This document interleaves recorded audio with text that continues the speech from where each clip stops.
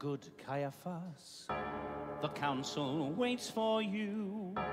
The Pharisees and priests are here for you. Ah, gentlemen,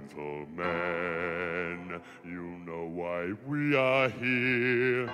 We've not much time and quite a problem here.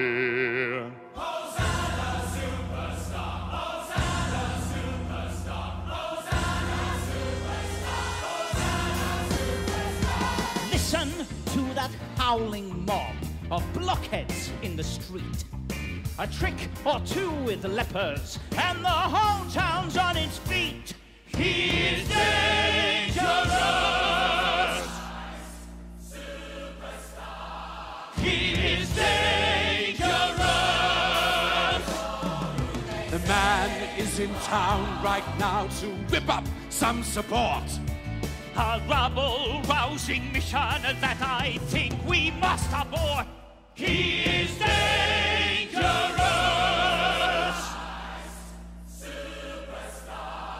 He is dangerous.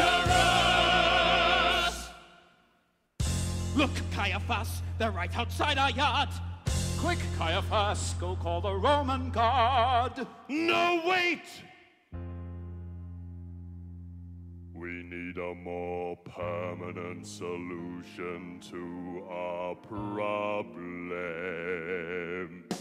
What then to do about Jesus of Nazareth? Miracle, wonder man, hero of fools. No riots, no armies, no fighting, no slogans. Infantile sermons the multitude rules. We dare not leave him to his own devices. Half-witted fans will get out of control. But how do we stop him? His glamour increases by leaps every minute.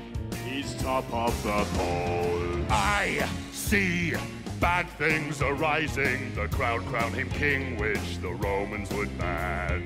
I see blood and destruction, our elimination because of one man.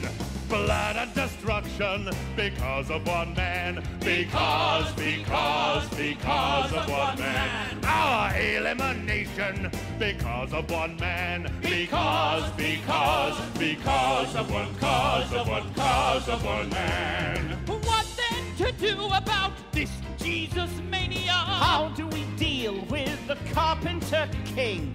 But where do we start with a man who is bigger than John was when John did his baptism thing? Fools! You have no perception. The stakes we are gambling are frighteningly high. We must crush him completely. So, like John before him, this Jesus must die. For the sake of the nation, this Jesus must die. Must die, must die, this Jesus must die. So, like John before him, this Jesus must die. Must die, must die, this Jesus must, Jesus must, Jesus must die.